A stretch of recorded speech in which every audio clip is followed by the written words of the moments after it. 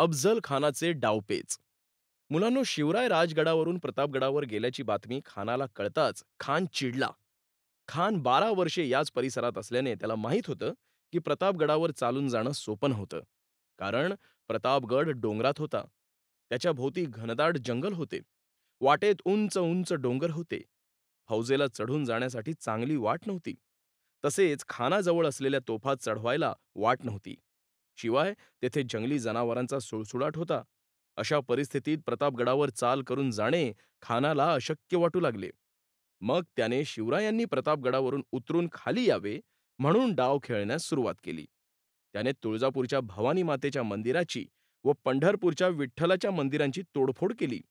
तसेच आसपासच्या छोट्या मोठ्या मंदिरांची तोडफोड करून स्वराज्यातील रयतेचा छळ केला. लोकांची घरे लुटली पिकांचे नुकसान केले हे सर्व करण्यामागे त्याचा हेतू हा होता की हे सर्व ऐकून शिवराय प्रतापगड सोडतील आणि प्रतिकार करायला गडाबाहेर येतील. परंतु शिवरायांनी खानाचा डाव ओळखला. त्यांनी प्रतापगड सोडलाच नाही. तेव्हा खानाने दुसरा डाव टाकला.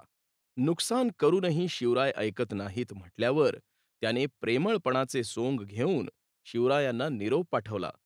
तुम्ही माझ्या मुलासारखे आहात. मला भेटायला या. आमचे किल्ले परत द्या.